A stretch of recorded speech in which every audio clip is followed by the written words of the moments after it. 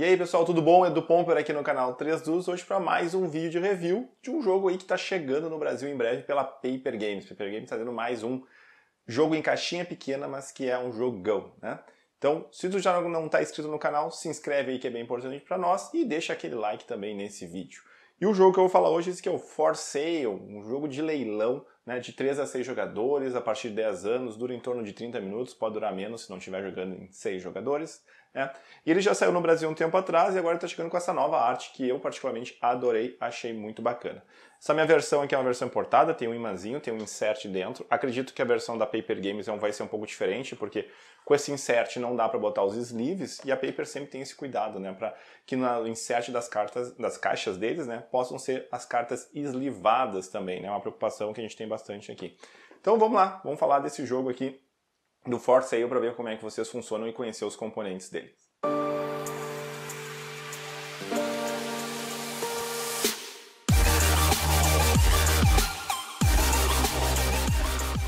Esse vídeo tem o apoio do Salão Nerd, a loja de Bagé que entrega seu presente em qualquer lugar.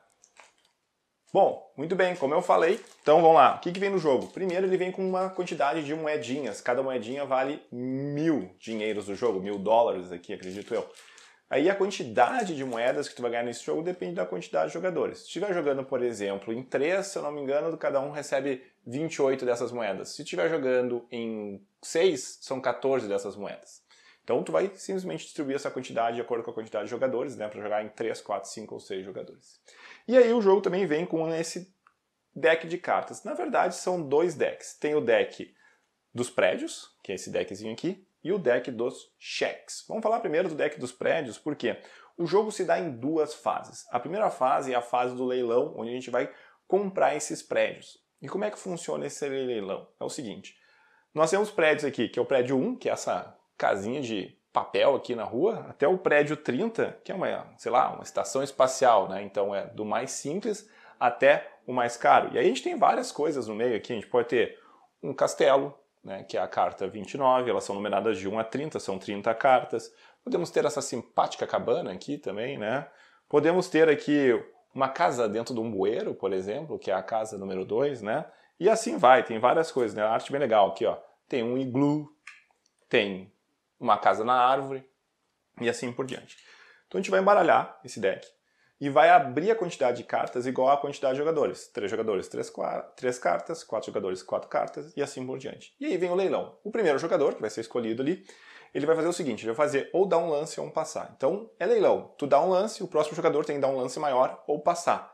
E o jogo vai indo assim até todos terem passado e sobrou só um que não passou. O que, que acontece quando tu passa? Quando tu passa, tu vai pegar, vai ganhar ali a construção mais baixa que está na mesa, ou seja, a mais barata delas.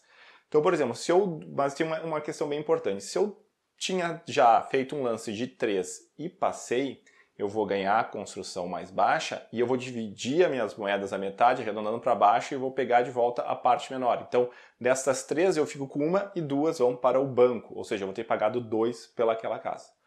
Também pode acontecer de tu passar direto Olha, não fiz aposta, vou passar, pego a mais baixa de graça.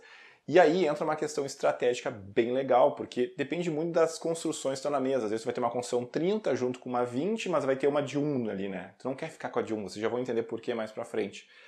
E o leilão vai assim. O último jogador, não, ele gasta todas as moedas deles. Ah, eu venci o leilão, tu vai pegar a mais alta, mas se eu botei 5 moedas, eu vou ter que descartar as 5 moedas pro banco para ficar com essa carta. E os jogadores pegam a carta e deixam virada para baixo na sua frente.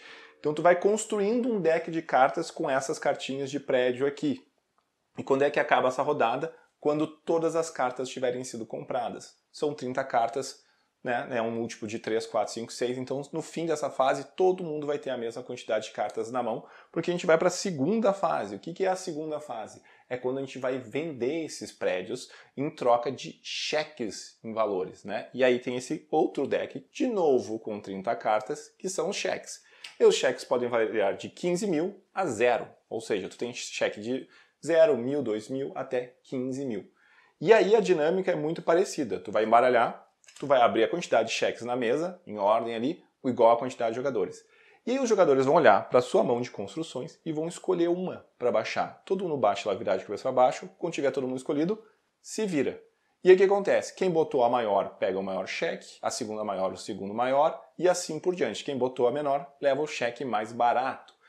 Então, é simples assim. E o jogo vai indo até que acabam todas as cartas e a gente vai ficar com cheques e as moedas que sobraram no final do jogo. O jogador que tiver mais pontos, somando os cheques, é a moeda do vencedor. Se tiver empate, ganha quem tem mais moedinhas. Então, é um jogo super simples, só que, assim, tô olhando, né? Ah, tá, vou fazer leilão. Mas ele é super estratégico porque, dependendo das cartas que abrem, tanto no leilão como na hora da venda, tu tem que saber quantas moedas vai gastar ou qual construção. E aí tu tem que lembrar mais ou menos quem é que pegou. Ah, talvez quem pegou a 30 vai querer usar agora para pegar um cheque, garantir um cheque de 15 mil, por exemplo. Mas aí é que apareceu um cheque de 15 e um de, 40, e um de 14. o cara tem a 30, eu tenho uma 25. Talvez para mim vai ser mais vantagem, né? Porque eu gastar 25, a de 25 para ganhar um de 14 é melhor do que eu gastar de 30 para ganhar de 15, não sei. Depende muito, né? Então, esse aí é um jogo assim que ele é simples, mas quando vai aparecendo ali as questões do jogo, ele é super estratégico, super divertido. Tem aquela questão, como é leilão, né? Vai ter aquele poker face ali da galera tentando dar um blefezinho, se vai aumentar, se não vai aumentar. Dependendo das cartas, eh, se tem muita carta alta, o pessoal vai forçar, forçar mais, vai ter aquele cara que vai sair um pouco antes, porque assim, as cartas são todas altas, né, das construções. Então daqui a pouco vale eu pegar uma um pouco menor, gastando bem menos moeda, salvar moeda para as próximas rodadas, né? Porque eu tenho uma quantidade limitada de moedas, eu não posso sair gastando elas louca no início, porque depois eu vou ficando só pegando carta baixa e aí eu vou me prejudicar muito na segunda fase. Então tem essa administração do leilão bem inteligente, saber comprar as cartas e depois a hora de baixar a carta, tu fazer a leitura da mesa, lembrar quem tem mais ou menos o que na segunda fase é bem importante. Então é um jogo assim, que tu explica muito rápido, como vocês viram, eu praticamente expliquei as regras dele aqui e a jogabilidade dele é bem legal. É legal que dá pra jogar, ele é de 3 a 6, né? não, não tem regra para 2, mas também dá para jogar com uma galera aí com 6. Bom, como eu falei, eu não sei se a versão da Paper Games, daqui a pouco o Cela aparece aí e responde para nós, se vai ser esse formato de carta. Acredito que o insert não vai ser esse, como eu falei ali, por causa dos sleeves. A arte, acredito que sim, vai ser essa arte nova aqui e não sei mais como é que vem a versão final. Então vamos ver, né? Vai que o Cela dá uma olhada nesse vídeo aí e ele explica para nós como é que vai ser a versão da Paper. Certo, galera? Então tá aí, videozinho rápido para vocês terem uma ideia de como é que é o For Sale que vai estar tá em breve aí no Brasil pela Paper Games. Ah, lembrando que eles vão trazer a expansão, tá? A expansão não tem aqui, então não falei dela, mas também vem a expansão do jogo. Valeu, galera. Até um próximo vídeo. Aquele abraço.